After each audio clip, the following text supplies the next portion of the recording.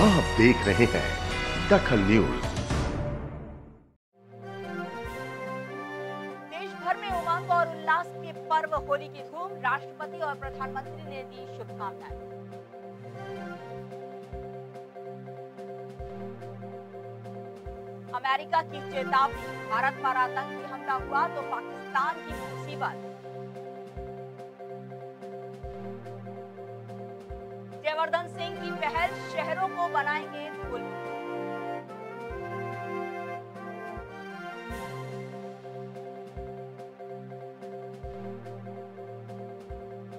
जबलपुर में दिल दहला देने वाली घटना 28 साल की बच्ची से दुर्घटना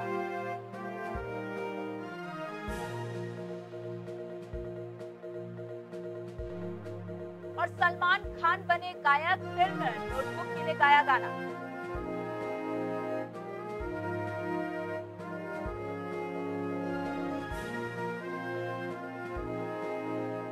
नमस्कार, मैं हूँ शेफाली आप देख रहे हैं दखल न्यूज़, अब खबरें विस्तार से देश भर में रंगों का त्योहार होली का उल्लास है।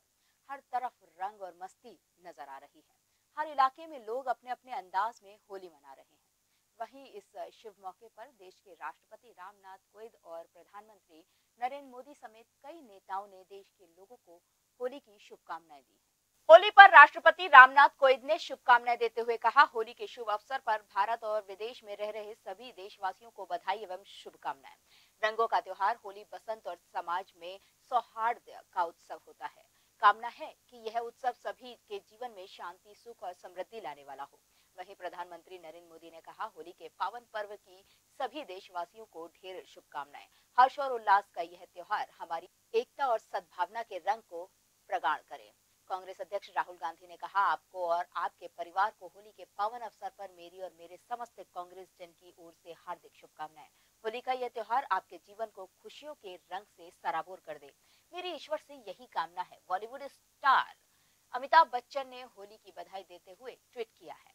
होली का त्योहार है, रंग भरी खुशियों की बौछार है। दिल घर भरे आपका, संपन्न रूप हो सबका।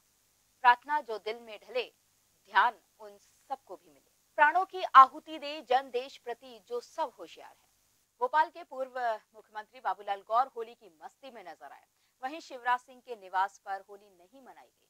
मुख्यमंत्री रहते शिवराज सिंह जमकर होली खेलते थे। रंगों का त्योहार होली भोपाल में बड़े धूमधाम से मनाया जा रहा है।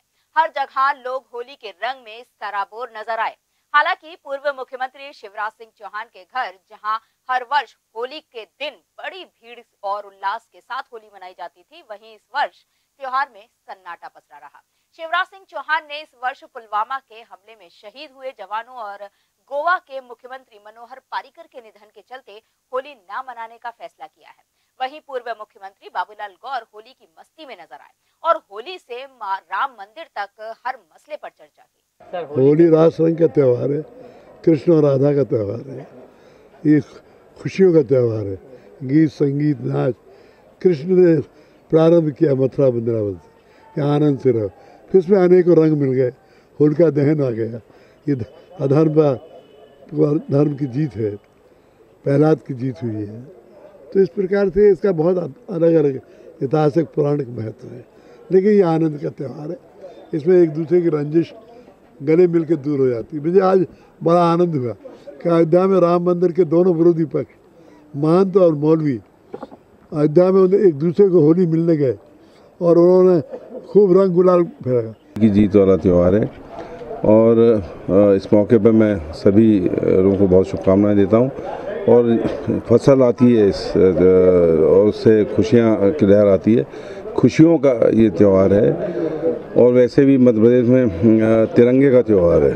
पंद्रह साल के बाद कांग्रेस की सरकार कमलनाथ जी के नेतृत्व बनी है जिन्होंने वचन दिए थे, जिनको पूरा कर रहे हैं। और ये जो लहर चली है, तिरंगे की, तीन कलर की तिरंगे की वो पूरे देश में फैलेगी और दिल्ली में भी कांग्रेस की सरकार बनेगी, राहुल गांधी के नेतृत्व। बहुत बधाई, बहुत शुभकामनाएँ।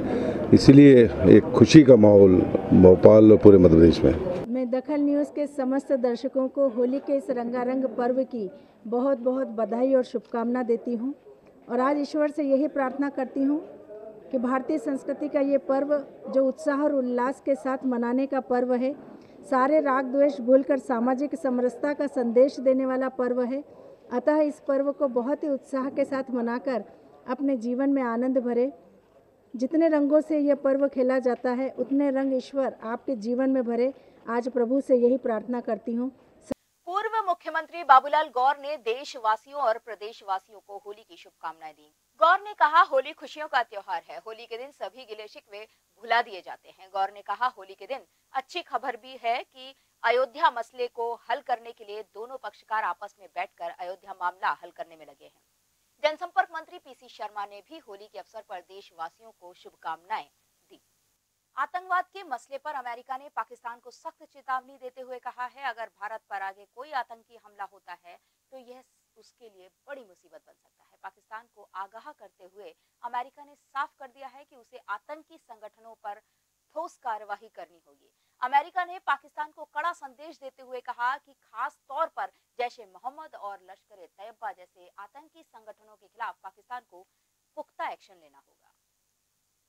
वाशिंगटन में व्हाइट हाउस के एक वरिष्ठ अधिकारी ने बताया कि पाकिस्तान को आतंकी संगठनों के खिलाफ बड़ी कार्रवाई करने की ज़रूरत है।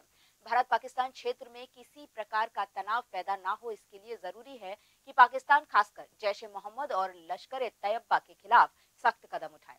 अमेरिका ने कहा कि अगर हालात बिगड़ते हैं तो दोनों देशों के लिए खतरनाक होगा। अगर भारत पर आगे कोई आतंकी हमला होता है तो यह पाकिस्तान के लिए बड़ी मुसीबत बन सकता है। अमेरिकी अधिकारी ने यह भी कहा कि पिछले कुछ दिनों में पाकिस्तान ने शुरुआती एक्शन लिए हैं, जिसमें आतंकी संगठनों की संपत्तियाँ जब्त की गई हैं और उनकी गिरफ्तारियाँ भी हुई हैं। पाकिस्तान ने जैश के कुछ प्रमुख ठिकानों को भी अपने कब्जे में लिया है, लेकिन हम इससे काफ़ी ज़्यादा एक्शन देखना चाहते हैं। समय ब्रेक का है। ब्रेक के बाद जल्द हाजिर होंगे, आप देखते रहिए दखल न्यूज़।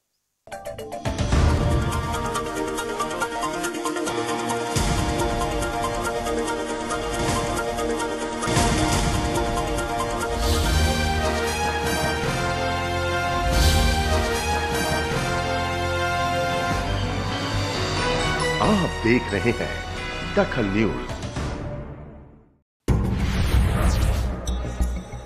मैं कोस्ट गार्ड नहीं पर समंदर पर होने वाली हर हरकत पर मेरी नज़र है।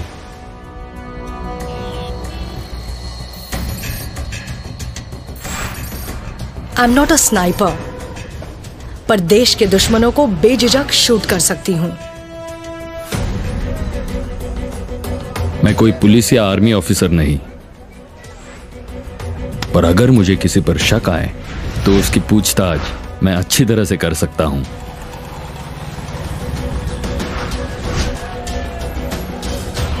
ये कोई चेक पोस्ट नहीं पर यहाँ से हर गलत काम करने वालों को रोक सकता हूँ। मैं कंप्यूटर से घुसपैठ करने वाले आतंकवादियों को अपने हाथों से रोक सकता हूँ। कोई भी ज़िम्मेदारी निभाने के लिए हमें किसी वर्दी, ओहदे या तजुर्बे की ज़रूरत नहीं। जहाँ हो, वहीं से देश की सुरक्षा की ज़िम्मेदारी निभाएँ। देश का सच्चा सिपाही बने। जय हिंद।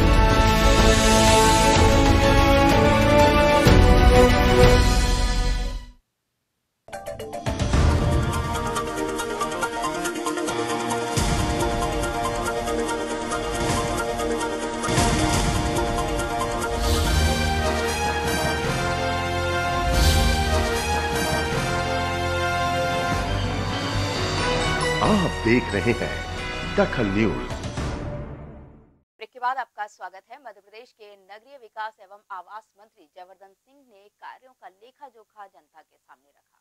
उन्होंने कहा कि गरीबों को आवास शहरों का विकास और रोज़गार उनकी मुख्य प्राथमिकता है। नगरीय विकास मंत्री जयवर्धन सिंह ने जनता के सामने कांग्रेस के वचनों को पूरा करने की बात कही। शहर में भविष्य में विकास के प्रस्तावों पर चर्चा करते हुए जयवर्धन सिंह ने कहा कि शहर को धूल मुक्त करना हमारा लक्ष्य है। जयवर्धन सिंह ने बताया कि भोपाल का मास्टर प्लान रिव्यू किया गया है, जिसको अक्टूबर या नवंबर तक लागू किया जाएगा। शहर के विकास में तालाबों का ध्यान रखा जाएगा। जयवर्धन ने कहा कि उज्जैन के साथ साथ जबलपुर घाट को भी व्यवस्थित किया जाएगा।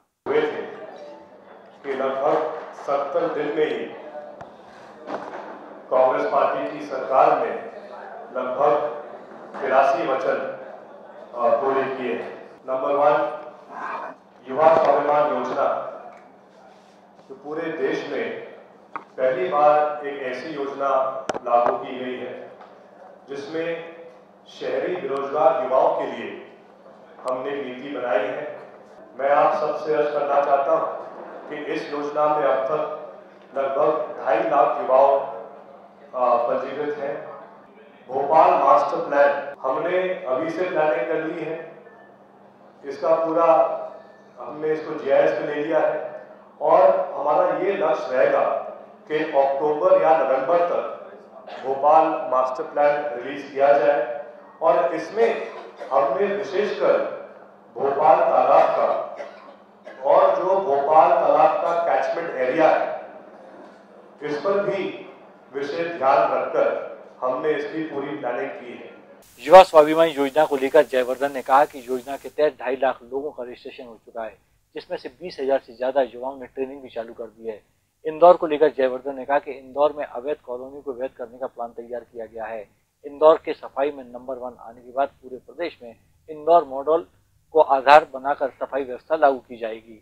जयवर्धन ने रोज़गार के लिए कमलनाथ सरकार की सराहना करते हुए कहा कि जिस तरह छिंदवाड़ा में इन्वेस्टमेंट और इंडस्ट्री से लोगों को रोज़गार मिला है, वैसा ही पूरे प्रदेश में विकास होगा।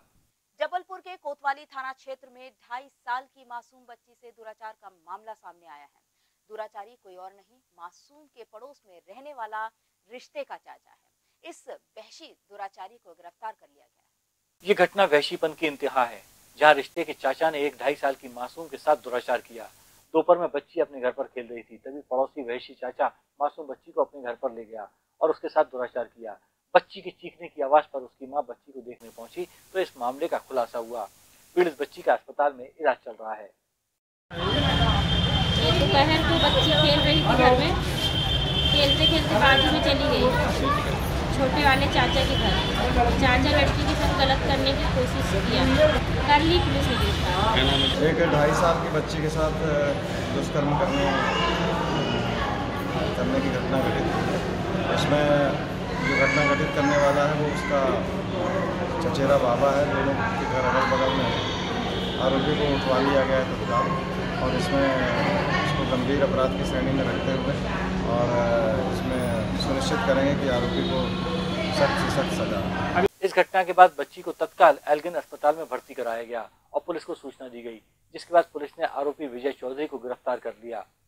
आबकारी मंत्री ब्रजेंद्र सिंह राठौर ने कहा है कि बीजेपी सरकार की आबकारी नीति सरकारी खजाने को नुकसान पहुँचाने वाली थी। हमारी नीति से राजस्व बढ़ेगा जिससे जनता का भला किया जाएगा। मध्य प्रदेश के आबकारी मंत्री ब्रजेंद्र सिंह राठौर ने आबकारी नीति को लेकर शिवराज सरकार को कटघरे में खड़ा किया है।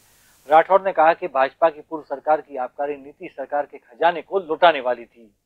उससे सरकार को नुकसान हो रहा था। इस कारण उस आबकारी नीति में बदलाव किए जा रहे हैं। कि जिन लोगों का स्वभाव ही झूठ बोलना हो उनके बारे में पहली बात तो टीका टिप्पणी करने में मज़ा नहीं आता। लेकिन आपने पूछा है तो मैं आपको बता रहा हूँ। जो लोग ये कह रहे हैं, उन लोगों के ही कार्यकाल की जो नीति है, उसी को हमने आगे बढ़ाया है। हमने उसमें कोई सुधार नहीं किया। नंबर एक। नंबर दो, सुधार किया है तो केवल इतना कि जो इन्होंने सरकार में ना रहते हुए भी, इस साल का भी, रिन्यूअल का निर्णय ले लिया था कि पंद्रह प्रतिशत के ऊपर पूरे मध्य प्रदेश का रिन्यूअल करना है। उसको हमने बदलाव किया है और पंद्रह प्रतिशत से हटा के हमने उसको बीस प्रतिशत किया। बीस प्रतिशत का मतलब ये है एक बहुत बड़ी राशि मध्य प्रदेश सरकार के खजाने में आती है और उस राशि का उपयोग आम जनता के हित में, किसानों के, नौजवानों के बच्चियों के शादी के विकास कार्यों के हित में उस पैसे को खर्च किया जाता है। आबकारी मंत्री राठौर ने कहा कि हमने जो नीति में संशोधन किया है इससे राजस्व में एक बहुत बड़ी रकम सरकारी खजाने में आएगी जिससे जनता का भला किया जा सकेगा। खजुराहो में खेत से बामन देव की प्राचीन बेशकीमती मूर्ति मिली है। मूर्ति तस्करों ने कपड़े में छुपा कर रखी थी। पुलिस ने इसे जब्त कर पुरातत्व विभाग को सौंप दिया है। विश्व पर्यटक स्थल खजुराहो में जैन मंदिर के पास एक खेत में कपड़े में लिपटी वामन देव की बेशकीमती मूर्ति मिलने का मामला सामने आया है। लावारिस मूर्ति मिलते ही खेत मालिक ने पुलिस को इसकी सूचना दी। पुलिस ने मौके पर पहुंचकर लावारिस मूर्ति को जब्त किया और भारतीय पुरातत्व विभाग के हवाले से कर दिया। ये तो समय समय पे बहुत बार ये आया है कि यहाँ से पत्थर की मूर्तियाँ पुरानी स्मगल होती हैं और कुछ लोग भी पकड़े गए हैं शायद। उसका मुझको ठीक से नहीं मालूम है, लेकिन कुछ लोगों के नाम हैं थाने में जो इन पत्थर की मूर्तियों की तस्करी करते थे। अब क्या है? मूर्तियाँ तो जगह जगह यहाँ फैली हैं। आप कोई भी ज़मीन पे उठा हुआ टीला देख लें, दस फुट, बारह फुट, पाँच फुट तो हो सकता है उसके नीचे ही एक मंदिर हो। लेकिन पुरातत्व विभाग बिल्कुल इस ओर ध्यान नहीं दे रहा है जिसके चलते समय समय पे मूर्तियाँ निकलती जाती हैं और यहाँ से जाती जा रही तक तो यही था कि एक खेत में किसी व्यक्ति को फ़सल के बीच में मूर्ति एक कपड़े से ढकी हुई मिली थी। पुलिस को सूचना मिलने पर पुलिस द्वारा उसको विधिवत जब्ती की कार्रवाई की जाकर पुरातत्व विभाग को सुपुर्द कर दी गई है और जाँच चल खजुराहो में बेशकीमती मूर्तियाँ कहीं पर भी खुदाई में मिल जाती हैं। इस क्षेत्र में कई मूर्ति तस्कर इन मूर्तियों को चुराकर अंतर्राष्ट्रीय बाज़ार में लाखों रुपए में बेच देते हैं। स्थानीय लोगों भी मानते हैं कि खजुराहो में मूर्तियाँ लावारिस हालत में पड़ी रहती हैं लेकिन सरकार इस ओर ध्यान नहीं देती इस कारण मूर्ति तस्कर इन्हें चुरा लेते हैं। लोकसभा चुनाव के आते ही एक बार फिर सिंधी समाज में राजनीति शुरू हो गई है। सिंधी समाज की तरफ़ से कांग्रेस नेता जगदीश असनानी ने खुद अपनी दावेदारी पेश की है। सिंधी समाज चाहता है कि भोपाल लोकसभा से किसी सिंधी व्यक्ति को टिकट दिया जाए। संत नगर के जगदीश असनानी ने लोकसभा चुनाव के लिए खुद को सामने रखा है और कहा कि मर्जर कैशमेंट सहित कई मुद्दों को सुलझाने को लेकर उन्होंने पहले भी कोशिश की है और आगे भी इसे जारी रखेंगे। कुछ ही दिनों में लोकसभा चुनाव आने वाले इसके मद्देनजर हमने जो मांग रखी है, माननीय राहुल गांधी से, माननीय प्रदेश के मुख्यमंत्री, माननीय श्री कमलनाथ जी से सिंधी समाज को महत्व दिया जाए सिंधी समाज को टिकट दिया जाए सिंधी समाज बहुत मेहनती समाज है हमारे समाज से जुड़े, हर वर्ग के लोग जुड़े हुए हैं, हर वर्ग का आदमी चाहता है कि सिंधी समाज को ही टिकट मिले। और रही बात जीत हार की तो जीत हार तो एक अलग चीज़ हो जाती है, बाकी पार्टी टिकट देगी तो चुनाव लड़ेंगे, आप लोगों का सहयोग मिलेगा, आप सब भाइयों का, मीडिया कर्मियों का सहयोग मिलेगा, बिल्कुल जीत के उन्होंने बताया कि सिंधी समाज सहित मारण मीणा समाज, मुसलमान समाज, ईसाई वर्ग सहित सभी ग्रामीण क्षेत्रों में उन्हें समर्थन प्राप्त हो रहा है। उन्होंने बताया कि पिछले 26 सालों से कांग्रेस से जुड़ा हुआ हूँ और पार्टी की सेवा कर रहा हूँ। अगर कांग्रेस मुझे मौका देती है तो मैं पार्टी को कभी निराश नहीं करूँगा। समय ब्रेक का है। ब्रेक के बाद जल्द हाजिर होंगे, आप देखते रहिए दखल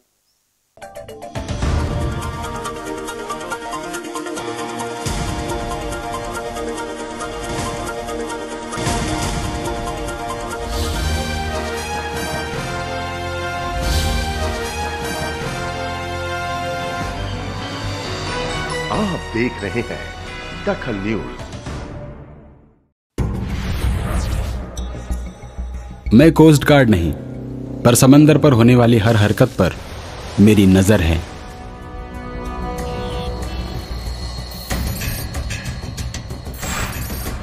I am not a sniper पर देश के दुश्मनों को बेझिझक शूट कर सकती हूँ।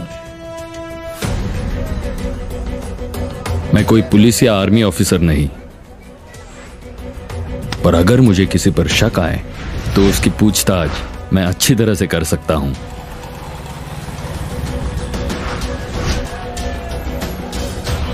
ये कोई चेक पोस्ट नहीं। पर यहाँ से हर गलत काम करने वालों को रोक सकता हूँ। मैं कंप्यूटर से घुसपैठ करने वाले आतंकवादियों को अपने हाथों से रोक सकता हूँ। कोई भी ज़िम्मेदारी निभाने के लिए हमें किसी वर्दी, ओहदे या तजुर्बे की ज़रूरत नहीं। जहाँ हो, वहीं से देश की सुरक्षा की ज़िम्मेदारी निभाएँ। देश का सच्चा सिपाही बने। जय हिंद।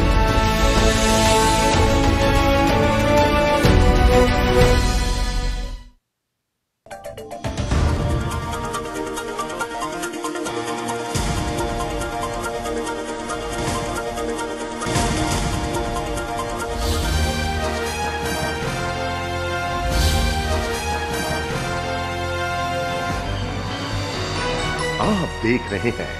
दखल न्यूज़। के बाद आपका स्वागत है। मध्य प्रदेश के तत्कालीन मंत्री लिखीराम कावरे की हत्या में शामिल महिला नक्सली जमुना को छत्तीसगढ़ पुलिस ने एक मुठभेड़ में मार गिराया है। महिला नक्सली जमुना पर आठ लाख रुपए का इनाम था। एंटी नक्सल अभियान में राजनांदगांव पुलिस को एक बड़ी सफलता हासिल हुई है। पुलिस ने नक्सली मुठभेड़ में कुख्यात महिला नक्सली जमुना को मार गिराया है। इस पर आठ लाख का इनाम था। जमुना टांडा दमल एरिया कमेटी की सचिव थी। पुलिस को मिली सूचना पर गातापारा थाने के भावे के जंगल में जब मुठभेड़ हुई तो जमुना ने कार्बाइन मशीन गन से फायरिंग की, लेकिन मुठभेड़ में जवानों ने महिला नक्सली को ढेर कर दिया।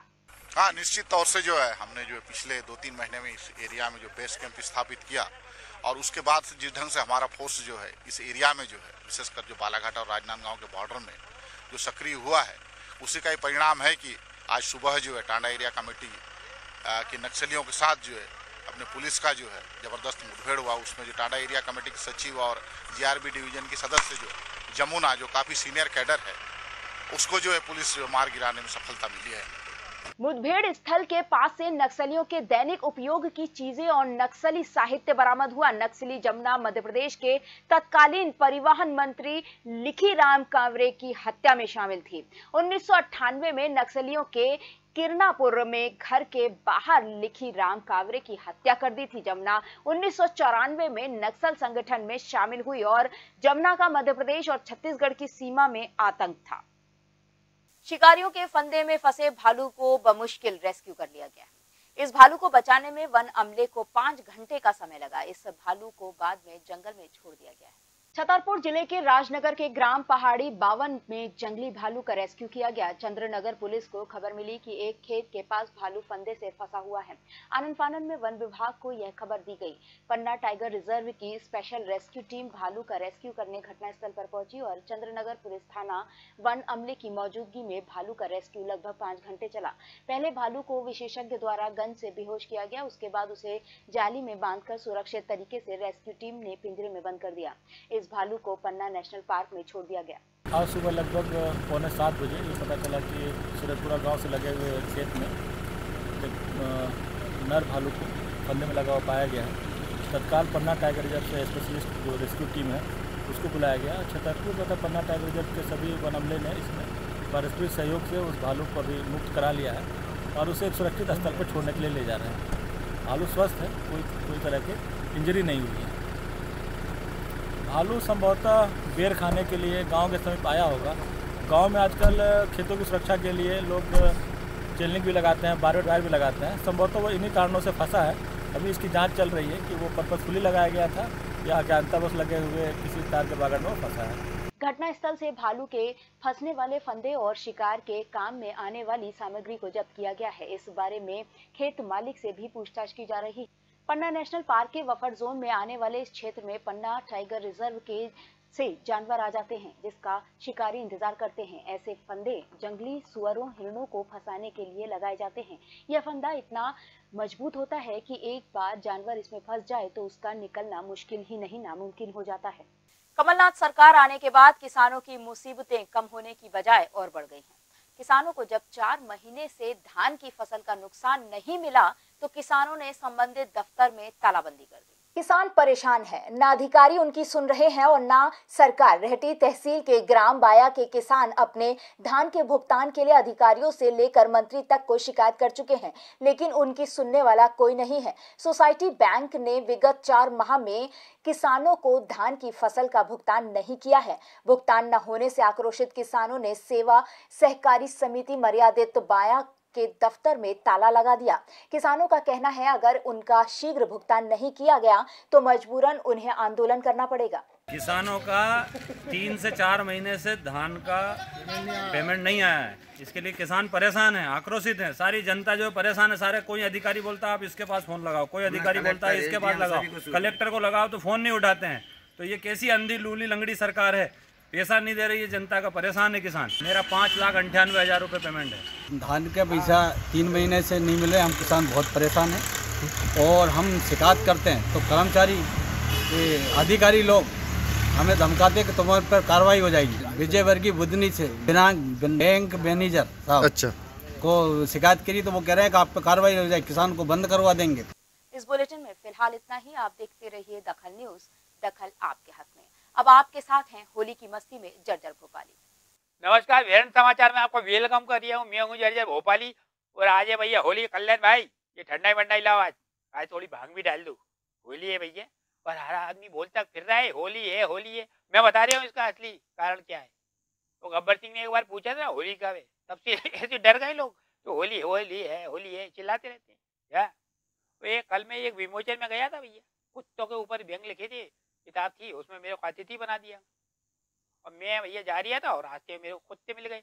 वो मीटिंग चल रही थी उनकी। उन्होंने कहा, भाई, ये चुनाव आ रहा है, किसके ऊपर भौंकना है, किसको काटना है, ये सब ये हो रही था वहाँ पे। मैं पहुँचा कर रहे थे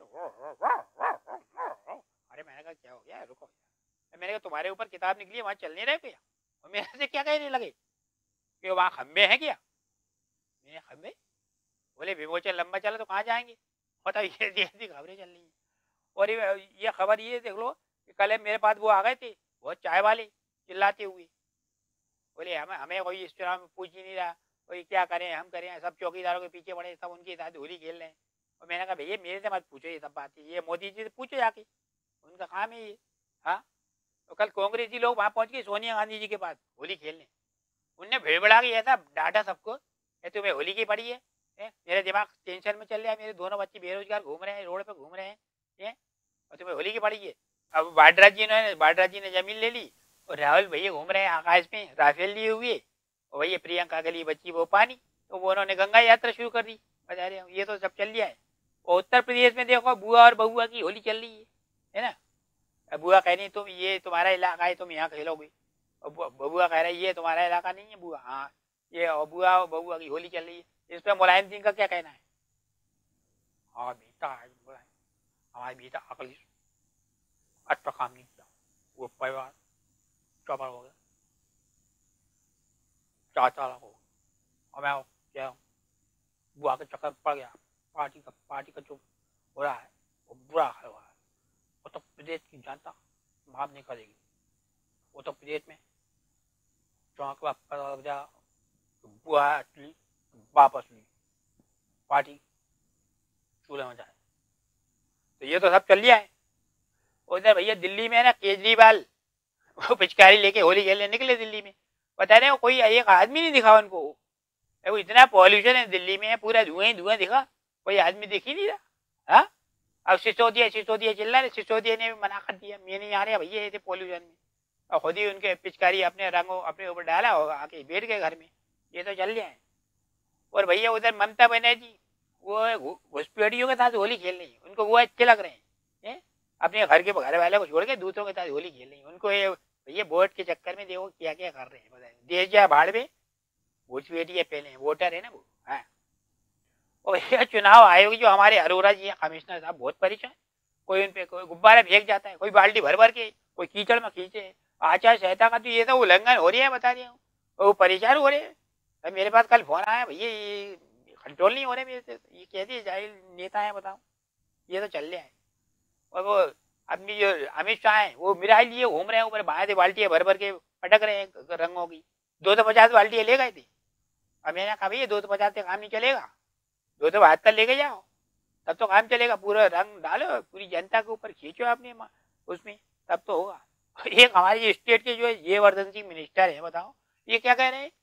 कि पूरे चेहरों को है ना धूल मुक्त करेंगे। और मैं बता रहे धूल मुक्त करेंगे क्या? मच्छरदानी लगवाएँगे? पूरे चेहरों का ढक्कन बनवाएँगे क्या? धूल मुक्त करेंगे। यदि यदि बातें करते नहीं तो मेरी तो कॉपी खराब हो जाती बता रही अब होली है कुछ बोल नहीं रहा, बता रही हूँ। तो जाते जाते एक शेर सुन लो। पड़ोसी ने बोली कि मैं तेरी होली जब हम होली खेलने गए तो वो किसी और के साथ होली। नमस्कार।